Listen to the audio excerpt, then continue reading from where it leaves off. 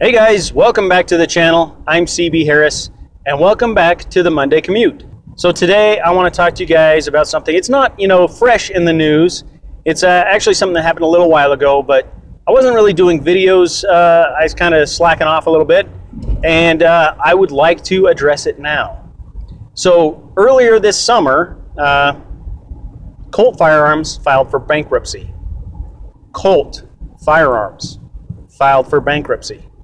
This is not a little mom and pop place, okay? This is Colt, one of the big boys. They filed for bankruptcy. Now, I'm sure, you know, some mismanagement, things like that could have taken place. But there really there there are two things that I think Colt forgot about and possibly led to the bankruptcy happening. One, they put all of their eggs, or in this case their M4s, in one government basket. Okay? They relied on a government contract to get them through. And really, I think that uh, I think that bit them in the end.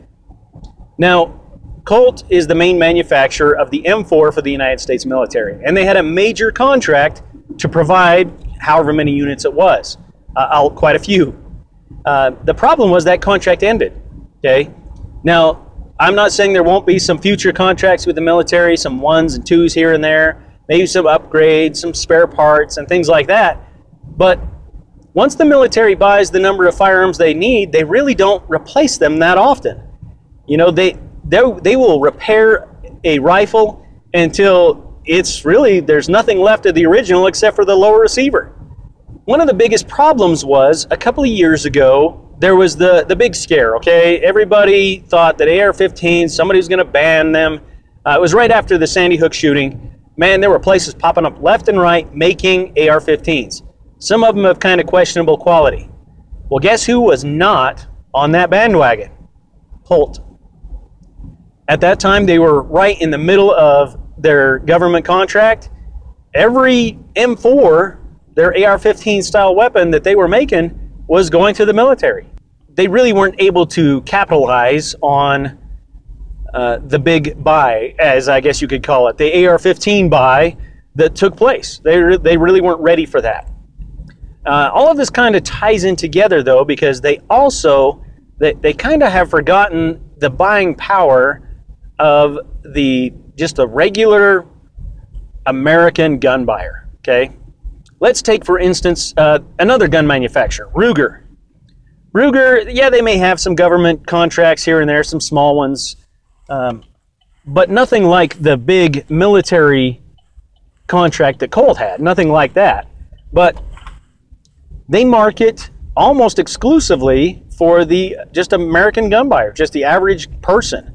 And they consistently sell millions of firearms a year, okay? Millions if you sell a decent firearm at a decent price, people will come. They're going to buy it. Colt, you are a big boy, okay? You are a very well known brand. People are going to buy your firearms. All you have to do is give them a decent price and show them what you can give them. That's it. So I think the way ahead for Colt is that they need to realize that there are a lot more people outside the government and outside the military than there are inside. There are a lot more potential buyers out there, okay? Market to them. Don't forget about those people. Yeah, instead of being a big lump contract, you're selling onesies and twosies here and there, but there's a lot more potential out there, a lot more buying power. So, anyway, guys, let me know what you guys think. Uh, leave it down in the comment section. If you watch this video, I'm asking you to take a couple of minutes out of your life leave a comment down below and let me know your opinion on the subject. If you guys have any suggestions for future videos, be sure to uh, send me either a comment, send me a message here on YouTube, or you can send me an email at bombbuster72 at gmail.com. And be sure to come back on Thursday for a Thursday's training tip, and next Monday for another Monday commute. And until next time, take care and drive safe.